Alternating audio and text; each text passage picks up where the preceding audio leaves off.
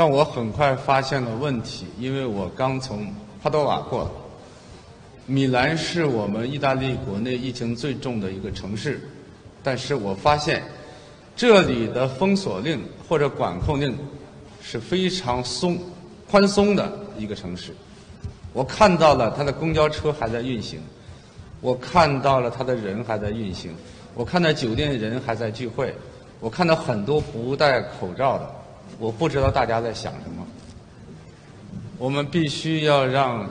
时间停下来，让我们正常的一种经济停下来，让人的平时我们喜欢的这种人际的交往停下来，可以说让生活宅在家里头，